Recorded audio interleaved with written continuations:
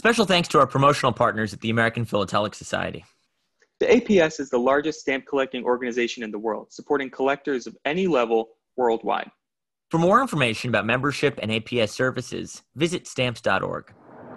I'm Charles Epting from H.R. Harmer in New York City. And I'm Michael Cortese of Noble Spirit in Pittsfield, New Hampshire. And this is Conversations with Philatelists. Michael, this is a really exciting one. This is one we've been looking forward Yeah. to. Um, maybe you more so than me because you are from New Hampshire. Yeah. Why don't you tell people who we're going to uh, see today? So today we're on our way to see John H. Sununu and John E. Sununu, former governor and White House chief of staff to George H.W. Bush. For John H. Sununu. For John H. Sununu, and John E. Sununu is the former senator in New Hampshire. and John E.'s brother, John H.'s son, other Yes. son, is Chris Sununu, current Sununu. governor of New Hampshire. Current so this governor is of New Hampshire. this is an incredible political dynasty Yeah. in New Hampshire. Yes. These are like New Hampshire royalty, you Yeah. could say. yes. And uh, we found out they're stamp collectors. Yes. And you emailed them a while ago.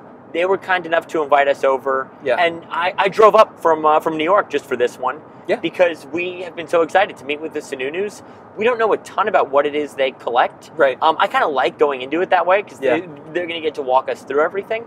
Um, so we're on the road. We just grabbed some breakfast. We've got Claire filming in the back seat of the car, and uh, we're going to go talk to John and John Sununu. I'm really looking forward to this I'm one. so excited for this Yeah. one. Let's um, let's go. Let's get there. Yeah. So we are here with John H. and John E. Sununu, um, former governor uh, and uh, governor of New Hampshire and chief of staff for President Bush, and former senator of New Hampshire. Did I get all that correct? Good enough. And, and I'm the older one. and and, and uh, you two have, have very generously invited uh, Michael and I into your home to show off your stamp collection, which you gave us a little bit of a, a briefing about when we just got here. Um, and and I, I I am really amazed by the family connections to this. That that's really the thing that's jumping at me. A lot of people collect stamps that they think are pretty, or maybe you know it's just what they started with as a kid. But you guys, I feel like every one of the collections that we'll go through in this room has some sort of family tie or some sort of personal tie. So this is a third generation collection. We've got two of the generations here. Can you talk a bit about who started this collection and uh, uh, sort of the, the, the, the roots of it? Um, Yeah, it, it is a third generation collection, uh, started by my father. Uh, he was born in Boston, uh, but spent most of his early adult life in Europe and the Middle East. Uh, he was very active in international business, import, export, marketing.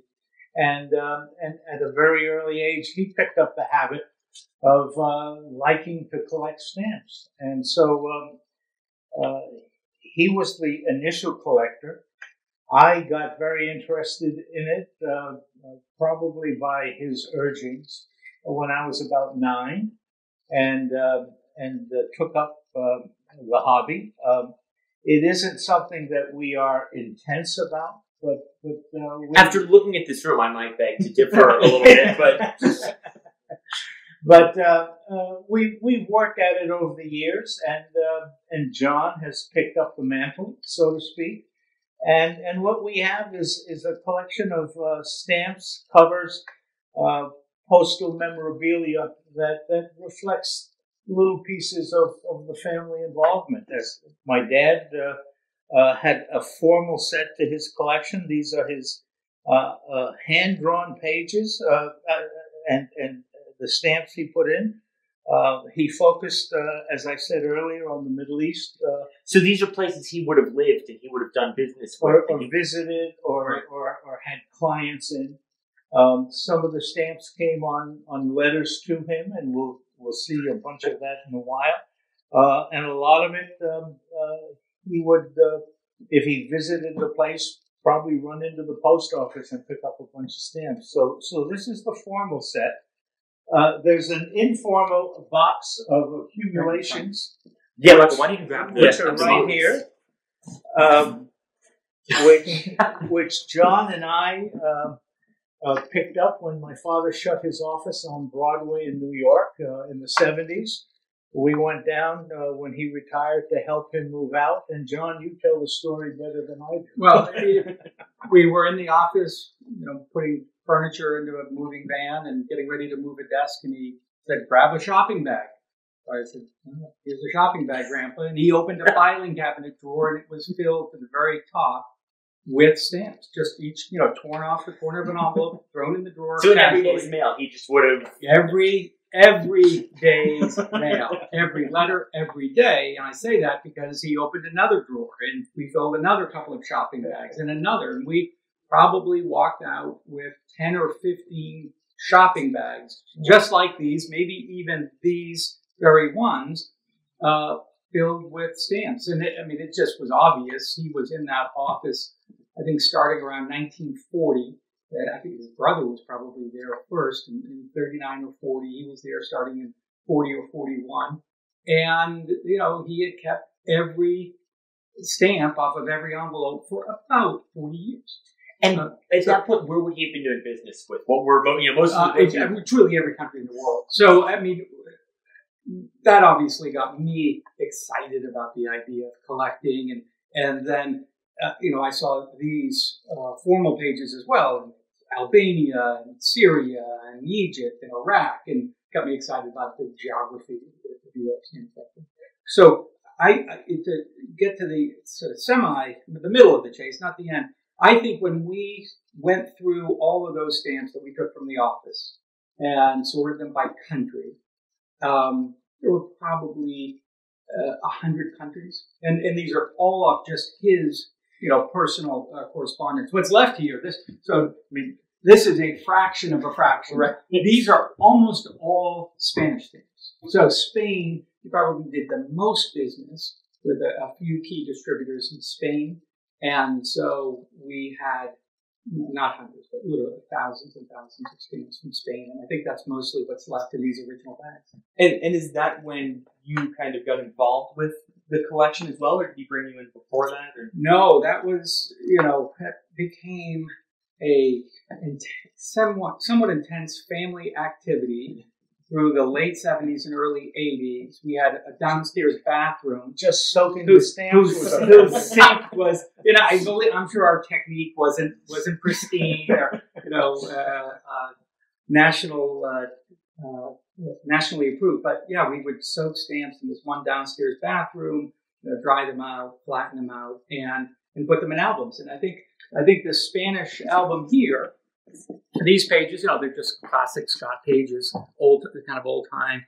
Um, th- this one here on the, the right is uh, probably from that you know first family collection where you know we're just taking what my grandfather had mounting them um, and, and having a good time i mean it was just you know stamp collecting for fun nothing more nothing less but it was terrific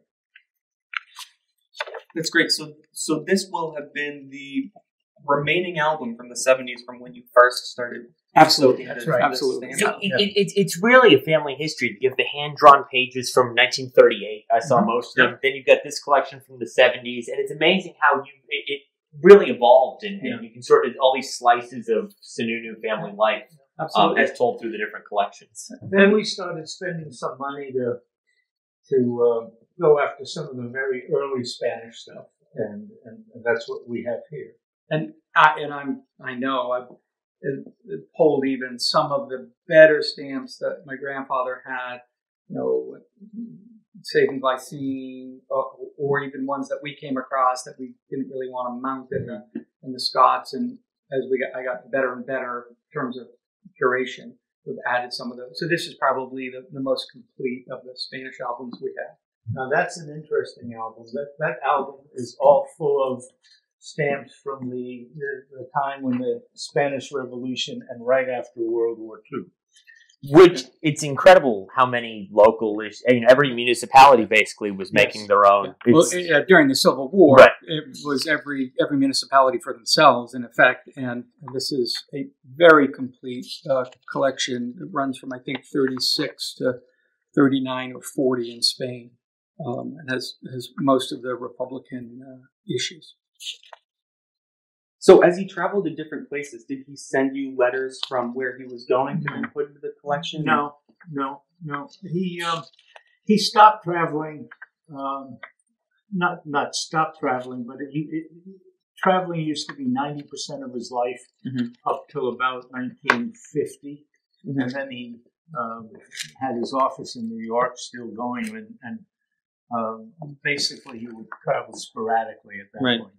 Now, he, uh, my my involvement in collecting stamps was parallel to his at that time. Mhm. He was collecting them and putting them in the drawer, and I was going to Gimbel's and Macy's and buying stamps to, to fill in.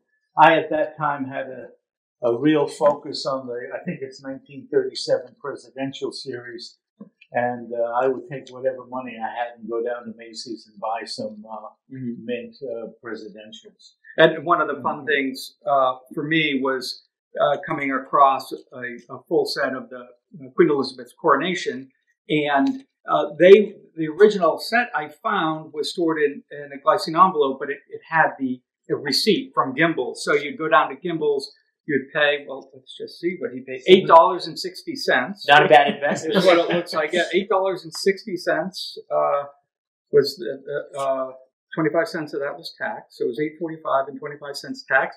And uh, they gave him a receipt, uh, which was mailed. I to- love that to his because address. you would have gotten this Yeah. in the mail, letting Yeah. you know when your stamps would be ready for pickup. That's right. four, Yeah. four cents to, to mail it to him on Broadway, and it told him when he could go and, and pick up the set. And then later on, uh, he got a, a more complete set and the you know nice presentation uh, booklet. So you know, as a, as a kid, I remember seeing this book and and just thinking it was the coolest thing because the stamps were beautiful and pristine and never used and and had great images and photography. And we, we UK is one of the, the areas of focus we have. We've got a pretty good UK uh, collection, and, and so it's nice to have the coronation set. Th- uh, One other, just while we're at this table, this is uh, like a, a full sheet of uh, Guatemalan airmail stamps, or a, couple of remnants of a full sheet. But uh, you, you see the uh, airplane is overstamped, and uh, you know when I first came across it, and this is from his original collection because these are the pages he used. I thought this must be worth a million dollars, you know, and, uh, and it had some value. It, you know, it might be a hundred dollars or a couple of hundred dollars, but I just remember finding this and thinking it must be pure gold. But, uh, it probably is worth its weight in gold, right? It's about uh, $127 or something like that. Uh, but they're beautiful. I mean, uh, the, Yeah. the artwork, and it has a, a lot of Central American stamps because um, that's where my grandmother was raised, and she had a lot of family there. So, um, again, you know, Guatemala, El Salvador, Costa Rica, uh, Cuba, just very, again, com- complete, a lot of breadth from those areas. And, and I think some of the artwork on uh, the Guatemalan stamps in particular are, uh, are beautiful. So, if you guys don't mind moving over to this table, I love this is sort of the next uh, chapter of, um, of of life for you guys because you had an opportunity that um, very few people have, in that you had a direct line of communication uh, to the president. yeah, you might say. I was chief of staff uh, to old President Bush, George Herbert Walker Bush, uh, for three and a half years, and um, and he was a wonderful guy who was very tolerant of my collection. Did he have any interest in the hobby himself? Did he ever? Was he a childhood collector that you know of? Or? He was not a childhood collector of stamps, but uh, uh, he was interested in some collections like baseball cards and memorabilia. So he understood the uh, the he, bug that we he understood my disease, and and he uh, really was very generous. Um, he would sign just about anything I asked him to sign, as long as I didn't bring too many in at once. And so I have a great collection of uh, of um, uh, first day covers signed by Bush. This is the Supreme Court bicentennial. This is the 20th anniversary of the moon landing. It's signed both by Bush and Dan Quayle, who was vice president. So these are all stamps that were issued during the uh, during the Bush administration. Yeah, that's right. This is a Greenwich, Connecticut founders station. And somebody sent it, me a couple of them, and I got the president to sign one for me. And so it's the post-it note from the desk of George Bush. Yes. this is um, um, the Creatures of the Sea commemorative stamp. Uh, th- this is an interesting issue because it was a joint issue with the Soviet Union, and you can see that it is postmarked um, by the Soviet Union here, Moscow, USSR. And, And, and joint issues are not all that uncommon, but Hmm. this joint issue in 1990 really had much larger political implications, I would say. it was the first joint issue, and uh, I was fortunate enough to uh, go with the president uh, on all our foreign trips. In particular, we went to Malta, um, had a five on five meeting, the summit at Malta. Uh, there's Mr. Gorbachev, the president, Jimmy Baker, myself. And uh, I had asked the president uh, if I could ask uh, uh, Gorbachev to sign a couple of things at the end of the meeting if, if there was an appropriate moment. And at the end of the meeting, the president George turned to Gorbachev and said, Governor Sununu has a question for you. And I uh, took out a couple of these and asked them to sign them. So here is the uh, uh, Creatures of the Sea signed by George Bush and Mikhail Gorbachev. That's absolutely incredible. Now, I got a developed a pretty good relationship with Gorbachev, and so after we went to any meeting, um, he would ask the president uh, at the end, "Did Mr. Sununu, did Governor Sununu bring anything else for me to sign?" And so uh, this was actually the first one he signed. Um, the space issue was the first one. Uh, these he signed in 1990. These were signed in 1989 at the uh, at the Malta event. So we have a lot of stuff signed by President Gorbachev, including this uh, waterfowl, Russian issue of waterfowl, and I've got a bunch of pictures out outside there that, that he signed. So I, I took full advantage of uh, being in the right place at the right time. And and, and uh, you told me these are signed by Helmut Kohl. This is George Bush and Helmut Kohl. Uh, we have a Barbara Bush one here. Right, right there in your hand. Oh, this is signed by Barbara Bush. There was a um, uh, a reading literacy stamp issued, and you know she was strong on the Absolutely. literacy, so Barbara signed that one for us. And and uh, for a lot of Americans, even more important uh, than world leader, arguably. is Stan Musial. Right? I got a joint signature of George Bush and Stan Musial when when. Uh, Did Uh, you meet Stan the Man himself? oh yeah. Yeah, one of the nice things about the White House is you do get to meet folks. I like got to meet Ted Williams. There's a, a great picture of Ted Williams on the wall in the White House. I've always uh, enjoyed the Franks, and then that, maybe course, that's yeah. because, unlike my father, I enjoyed the Frank privilege. Uh, uh, and, and these are both done by uh, uh, President Bush when he was vice president. Wow. Again, the- the stamp collection is incredible, but just the historical uh, The connection. impor- exactly. Yeah. fact This you know this stuff was all in the White House. Yeah. Uh, it's just absolutely unbelievable. Um, we've gone out and spent some serious money occasionally. Um, uh, That's uh, Major. That's uh, Bermuda. oh, John Major. Major, Yeah, this was Bermuda John Major Summit. from Bermuda. He signed it with President Bush. A couple of errors. This is a couple of copies of the Pickett error and the Pickett non-error, and then we have a strip here of the Nixon error. Which is fa- you can see the regular stamp has his Right, and name at the top, and the the error block is Yeah. um, completely lacking. That's a great looking piece. And these are some that we've acquired over the years. Uh, some Confederate states. This is a this is one of my favorite collections. The the, uh, The U.S. Shanghai, offices abroad in China, and uh, this is the Canal Zone issue. in Hawaii. And, and oh yeah, and the Hawaii. I mean, for me, I always uh, was interested in these uh, U.S. issues uh, abroad, for China, Canal Zone, and Hawaii at the time, which was uh, not a state, just because it was that geography, right? The geography of collecting. You learn about the world, you learn about places, and, and obviously you learn about history. Oh, Hawaii, that well, that wasn't part of the United States, and you learn a little bit more about it uh, about its history, about its you know movement to statehood, and, and all the rest. So, you know, as a kid, there was always that hook to learn a little bit more about the places uh, you were finding these stamps, stamps from. Here's a couple of more personal things. Um, when I became governor, uh, I encouraged our wildlife uh, group to uh, consider issuing a governor's edition of the uh, duck stamps. And so New Hampshire became the first state to issue what's called the governor's edition, primarily for fundraising for wildlife preservation, and uh, and so we were the first state to do it.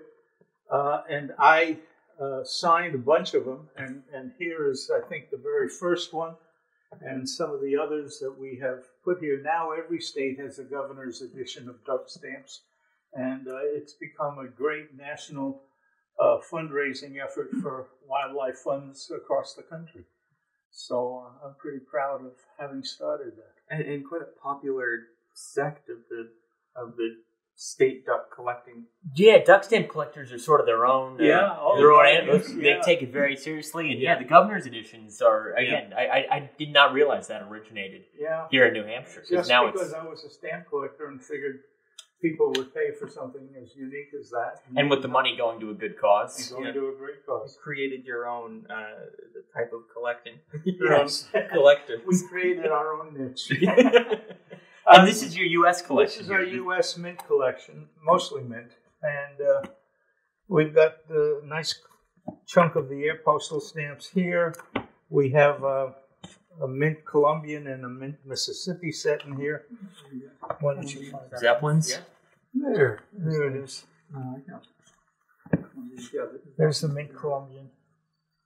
the uh, you know this is all, all about the the peril, the great peril of collecting, which is the need to upgrade. Yeah. so, so you know, over time, I think we accumulated you know pretty full U.S. collection, you know, mostly used uh, or, or um, canceled in some form, and uh, but then you know over time you you want to upgrade a little bit, upgrade a little bit more, and so uh, yeah, we've uh, you know, bought different groups of stamps and tried to consolidate them all here and, and a couple of nice albums. And as much fun as the geographical diversity as the Central America, the Middle East, do you guys find yourself drawn to American stamps? Do you find this to be a uh, you know, it's, it's such an integral part of our country's history Yeah. that you you have to have the U.S. collection Oh, in yeah. addition to everything This else. is the cornerstone, Hmm. and I would say the second uh, second tier to that is the UK and the uh, British Mandate Palestine, and then uh, almost equal to that is the Central American and Spanish collection. Yeah, I think I think that's right. I mean the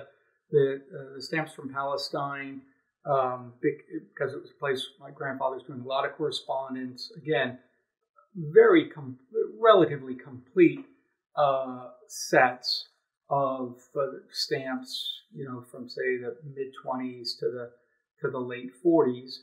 Um, but then over time is a desire to expand that and complete it.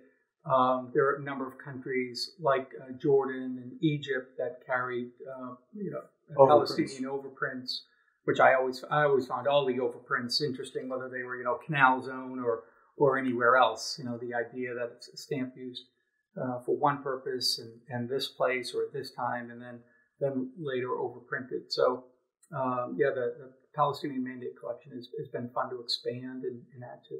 Why don't we? Well, I was just going to ask, Yeah. where where would you buy your stamps? Would you buy from auctions? Would you go to shows? Noble Spirit. Can't get a better advertising plug than that. a little bit it shows, but but you know, in the modern age, eBay, yeah, you know, and especially, I mean, I've found it the case for for most collectibles. If you've handled a lot of material Mhm. and you know what you're looking for, and and you know, obviously, if you have confidence that it's a, good dealer, you know, you can. Um, you can get good prices. You can find what you're looking for, and, and uh, even if it's very rare, you know, if you're Yeah. patient, things will be be listed. there's a couple of dealers that have good websites. And Yeah. Some auctions, some direct sale. We haven't done that much on stamps in the most recent years. I, I stopped buying probably five or six years Yeah, ago. I think that's probably right. And uh, And then it took me five or six years to figure out what he had bought and find, and find a home for Yeah, it. you've got enough yeah. stuff here to keep you busy Yeah. for a while, even Yeah. without acquisitions. Yeah. And and again, we were talking about the connection with my father. We've got some great envelopes over here. So these are some of my favorite uh, covers. So um, these are letters written to my grandmother. Uh, yeah, uh, while he was in um, uh, in the Middle East. So uh, there was a pretty serious correspondence. He would actually keep track of how many letters he wrote each week uh, and how many he received each week. So all of these, these that's um, you know that's his PO box 163. That's his uh, his initials, and so these are all uh, obviously family covers, which have been you know just yeah, again it, it's more of a personal value than anything else. Right. But still, I mean, And these boxes are full of covers. I, I took a handful out earlier. You know, They're addressed to some, him. some some business, uh, some that we've accumulated through the years that you know might have come in a, in a collection we picked up, but most of these are, are all family here, and um, These are interesting. I taught at Tufts. Yeah. And when foreign students would ask for information, the secretary would keep the envelopes for me. And they were written to different faculty. These are from all over the place. Yeah. So you had a direct in at Tufts to Yeah, I all the taught- mail I from. taught there for 16 years. uh, so again, you know, just family. uh, Obviously, in this kind of condition, doesn't have a lot of uh, economic value. But this is from El Salvador, so this would be from uh, one of my grandmother's uh, brothers, probably, who was who were still living in El Salvador. This is Salvador. interesting. It went through, um, Yeah. um, what do you call it? Um, Uh, the census. census. So, so this is uh, the, it's dated 1944, and this was to my uh, to my grandfather uh, at their address in New York City at the time, uh, which was uh, Dartmouth Street in uh, in Queens, New York. But it had to, since it came Yeah. from what they considered a country that needed to be checked, it had to go through the census. so again, all of these would be family, uh, you know, uh, covers um, to uh, to that Dartmouth Street address. see what else we have. Ah, so these are the, the two brothers, uh, my grandfather John and his brother Edward, who had their business at that 150 Broadway address, and this also came from uh, from uh, Jerusalem. Uh, in fact, this was from their father, so that S is for Saleh. That was their father. So that goes back four generations. yes, yes, indeed, yeah, yeah. Uh, and this is one from their sister. Again, the same time frame, uh, and uh, in, in this case, it's probably during the war. So there's a notice that note that it's in English, uh, which is obviously for the censors. In, in the case that it makes a difference to them. My grandfather was the first, my father's father, my grandfather, was the first uh, of the family to go very serious into the international business. And, and he would, uh, for example, go to Russia, like in 1902 or 03, pick up artifacts there, and then bring them back to Europe and the Middle East and sell them. And uh, he he had a great style of doing it. Any country he went to, he would learn the language before he went. And so the family legend is that he spoke 17 languages. Uh, this is uh, uh, end of wartime, but obviously the censors are still at work. But this is from Iran. So uh, and I, uh, these I thought these always had great imagery of them of the, the young Shah. Yeah. Uh, and And he's got the registered unusual. label on the front. I saw. Yeah. Uh, so that would be, you know, business related, import export. They're obviously doing work with somebody in in Iran at the time. And and next to you is the uh, the bulk of the the British Mandate in Palestine collection. So can you talk a little bit about the history of this, where where this would have been Well, he started? Um, my grandfather was uh, came to the U.S. in, in 1903. Um, he, they, they came from Jerusalem. They were part of the Greek Orthodox community in Jerusalem. They went back during World War, just before World War One, and and ended up getting stuck over there and, and stayed over there. And so uh, my dad spent a lot of his early youth um, in that part of the world and, and started co- you know, expanding his collection. And, and most of these stamps are, uh, well, stamps that he saved. And we have filled in a great deal, particularly the, the mint stamps we, we, we put in, although he had some mint stamps. And this is a fairly complete set of the uh, British Mandate Palestinian stamps, including um, some of the uh, the Egyptian overprints. You know, we were talking about the overprints.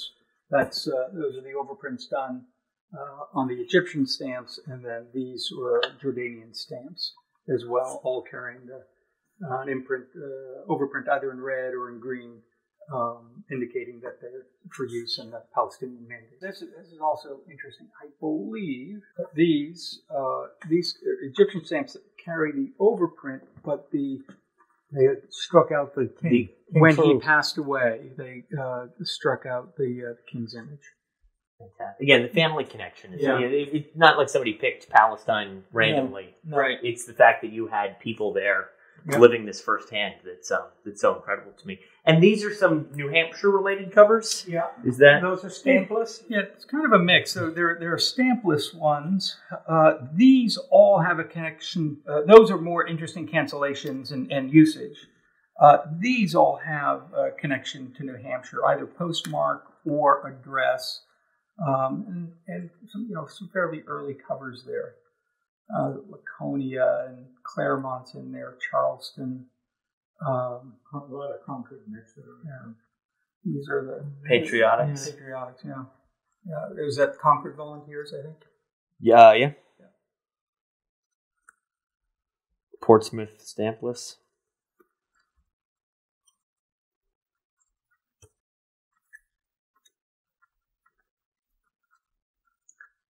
Those are among the items that mysteriously showed up uh, not long after my father discovered eBay. and I, you know, th- th- those are those are all stampless. Yeah.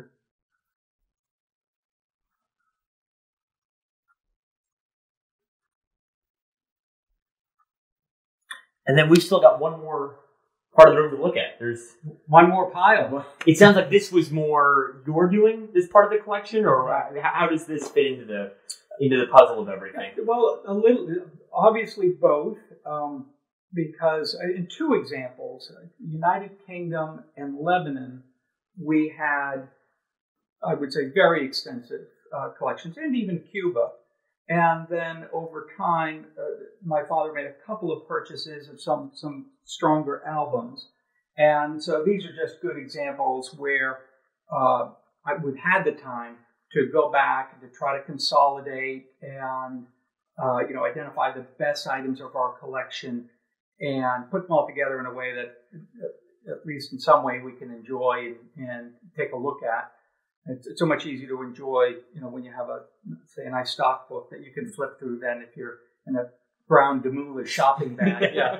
Um, And Uh, it, it sounds like you're pretty complete on Lebanon and Yeah, Transjordan. yeah. These, these are areas where you've been able to. yeah, um, you know, the, the, the Lebanese collection is is really complete. From the you know the earliest stamps are are French uh, with a with a, a Syrian or a Lebanese uh, overprint uh, from the late twenties uh, is typical, and the collection is fairly complete through about about 1960, and uh, and largely uh, un, un, unused. Uh, but you know some of the olders have cancellations. And then the, uh, this is our uh, collection from Great Britain.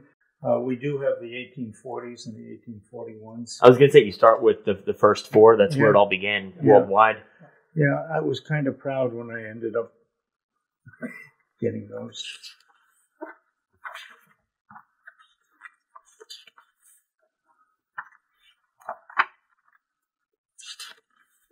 So can I ask a general question? Yeah. You showed us a bit of your baseball cards, just looking around the books, the memorabilia, the signed photos. Why is collecting so important to you guys? Hmm. I know it's a, you know a lot of people just chalk it up to genetics and make a joke about the disease or the bug or whatnot. But is there is there a reason? That, I mean, even just seeing the, the campaign memorabilia Yeah. inside of the, uh, the the the coffee table. What what is it about uh, you know having this stuff around you that's so important? Because I, Michael and I are, are cut from the same cloth, and I think a lot of people who will be listening to this are. But but for you guys personally, what is what is this all about? Well, you've actually talked about it uh, a little earlier. Um, it's the connection to family for us. Um, I collected baseball cards when I was growing up playing baseball. And uh, I grew up in New York City at a time when we had the New York Yankees, the Brooklyn Dodgers, and the New York Giants. And, and, uh, and you identified your friends in that way. He's a Giant fan, he's a Dodger fan, he's a Yankee fan And you were a Yankee fan. and I was a Yankee fan at the time, and uh, and and so it's that connection that I think started my interest in the baseball cards. Certainly, the connection with my dad on on uh, the stamps, and uh, and that just uh, blossomed out into other areas. As you see, I collect a lot of signed uh, photographs, but just about every photograph there has some connection. The one that you see is a cartoon there on the left. Uh huh. That's the original artwork for the uh, Topps George Herbert Walker Bush baseball card, of which there were only 100 made. Uh, so, you know, I, I collect mostly things that I are connected to me or things that someone has given me from someone that I care about. Yeah, I, I think that's it's that that piece of history, right? So if you're collecting baseball cards, for me, the interest is it's a piece of your personal history. When it does take you back to childhood, but that's what what personal history is about.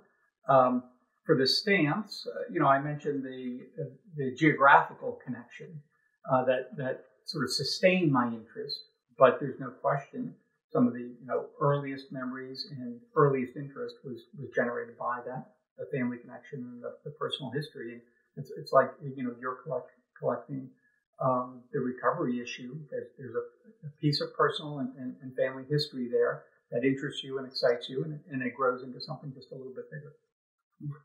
Well, we touched upon the baseball cards a little bit, but if you don't mind, I would love to take a look at that because I, I thought that was just a tremendous presentation. Sure. in the late 70s, we found my father's uh, original baseball cards uh, card collection in the basement of their home in, in Queens. And my mother didn't throw my cards away. No, she did not. She did not. So we, we brought those uh, back to New Hampshire, and they were uh, mostly Bowman and Topps from 1948 to the early 50s. Mm-hmm. The 48s and 49 sets were, and 50s were almost entirely complete. They got a little bit more sporadic from there. Yeah. And I started going to baseball card shows to, to fill out the. There were four cards missing from the 1950 set, about 25 cards missing from the 49 Bowman set, and slowly, you know, fill those out. And then one thing led to another. Um, I remember going with my, with my, father to buy a, a, full set of 56 Topps. Yeah. Um, uh, after I graduated from uh, from high school, and so today the collection goes from 1948 to 1957. Uh, most of the uh, issues from Bowman and, and from Topps, and so uh, not all the cards are graded, but these are these are the graded ones. So they start with 51 Topps uh, go to retrospectively say it's 52 Topps, you know, which is a, a great issue. Uh, Ted Kluszewski, Hall of mm. Famer. And uh, so this side is 51, 2, 3, 4, 5. And I think we go up to about 1957. Ted Williams, of course. Right, card number one. One of, one of, the greats of all time. Yeah, yeah. And then, I mean, the 57 Topps, too. Um, the photography is, is beautiful. Yeah. And, uh, yeah. And, and, and the cards are another case where you're not just collecting haphazard. There have been right. so many cards, especially in the last twenty to thirty years, yeah. where the market really sure. boomed. And, and you you guys are focusing on what you knew growing up. Yeah, These right. are the the heroes that you grew up watching. We, although I must tell you that he has become an addict collecting the Judd, the old Judds. Oh, old Judge cards. Yeah. so, so this was all. Uh, you know, that original collection was forty-eight to, to fifty-seven, and it still is. And we had this built just for the cards. I was going to. Yeah, it's, it's the perfect display. Thank you. That was my idea. I, I, uh, I could use work with a, uh, a, a, furniture maker named uh, Faxon from uh, Chester, New Hampshire. A lot of this furniture is made by one great guys who belong to a group called the New Hampshire Furniture Masters. That desk is the dock, the uh, stand up desk. Yeah, so the, the core of you know uh, his collection ended up being uh, 48 to 57. In the last 10 years, I got into collecting pre-war cards. So I, co- I collect from 80, 1887 to 1919 uh, tobacco and, and candy cards. Really? Um, yeah. I, I, I have a couple of 1933 Goudey. yeah. So that's the set. If I had to go after one, that's my yeah. Uh, so holy grail. Uh, you, you can't collect everything. So right. told me very early. You cannot collect everything. And um, the uh, I have Goudey premiums, 1939 Goudey premiums. Uh, there are several sets. Uh, and I had a set of diamond stars for a while, which are a great Art Deco looking set from 1934, 35, and 36, but sold those. Now you just focus on pre. But the Ga- the 33 Goudey set, which is you know one of the three or four linchpin sets of collecting, but never uh, we've never collected those. Yeah, we have something to look forward to. More drawers to, to thumb. So, and these, uh, since you're here.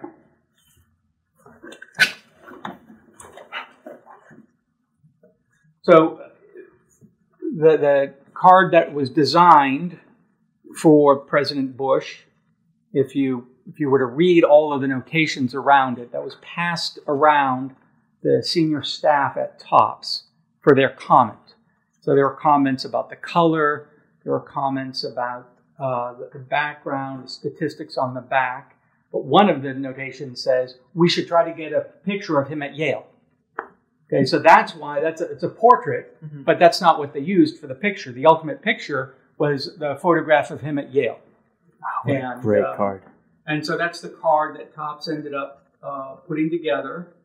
Uh, the Art Shorin, who was the president of Topps at the time, came to the White House uh, with a, with a hundred of these and presented them to the president. And um, and the president, you know, distributed them to staff and, presenting them to the president and the staff and, and, and family members and such. And and um, so the, these are the uh, a handful of cards that he, he gave to the, Now, the there's a family. very interesting story about the originals and some that leaked out of Topps. And if you click online, Topps and Bush and baseball cards and, You can you can find an article written by the uh, fellow PSA. who uh, was the CEO and president of uh, PSA, card authenticators, and after a long back and forth with them, we finally explained to them that there were only a hundred of these made, and the hundred or so that had been graded Hmm. uh, were all almost certainly, you know, man- illicitly manufactured and you know shipped out a loading Right. dock somewhere. So uh, th- there's a very distinct they were trying to manufacturing tell me difference. that mine were not. Yeah, yeah. They, they, they said, oh yeah, that would be, we we questioned the uh, uh, authentic, uh, uh, authenticity of these cards, and I'm like, no, I'm pretty sure we know where we got them. So, um, and and it turns out there's a very specific uh, manufacturing technique used for these, and, and the way there's a, a gloss at the, uh, laid on the front, which is very distinct, and and the cards that they had And been fragile. grading, yeah. Um, the cards that they had been grading were all without this, and you know, some marketing guy probably printed a couple of sheets and took them home and was slowly selling them, uh, hoping that no one. And they sold even those the knockoffs, so to speak. They sell for a lot of money. Yeah. Really? Yeah, very, very- history to them. Very few of these have uh, the actual I- issue have have been sold. One of the coolest things I've ever seen. It, it's it's a. I mean, you know, it's just a beautiful original Topps issue. Yeah. So uh, you know, with the logo and the I have one of them over there that the president signed for me. Really? Oh, here's a So it's, it's funny though when we were sort of trying to just uh, authenticate these so that PSA would you know encapsulate and protect them. Maybe this is more for protection than Yeah, anything. of course. You know we're we're you know trying to explain no that this this surface gloss this is the way they all are. Mhm. And so we reached out to President Bush who was up in Kennebunk at the time and and just you know to get his assistant's memory of the process of that. And she said, "Well, here I'll send you another one from the binder." so she had sent us another, uh, yet, yet another one, just so that we could compare it to all the others. But I mean, that's the, the way he always thought is, you know, just whatever you need to, to help you out, he's willing This to do this is it. one of the great iconic baseball pictures in history. When Babe Ruth, just before he died, wrote his memoirs, and he presented his memoirs to Yale University, and they were given to the captain of the Yale baseball team at the time, which was George Herbert Walker Bush. So there is a picture of Babe Ruth and the future president of the United States. Wow. Ruth died about four months later. This is the baseball card we were talking about, signed by the president, and that's just a, a run of the mill Babe Ruth picture that I put together. It's incredible. When I was governor, I uh, had a couple of first day covers made and signed them. You- These are for you. Are you sure? Yeah. Really? And Warren Burger, who was Chief Justice, came up uh, for the uh, issue, the centennial, New Hampshire centennial, and he signed those as I. So that's for you. Thank you so and much. then uh, Barbara Bush's literacy card. That's for you. wow. And the Creatures of the Sea, signed by George Herbert Walker Bush. Are you kidding? Wow. No. No. this that.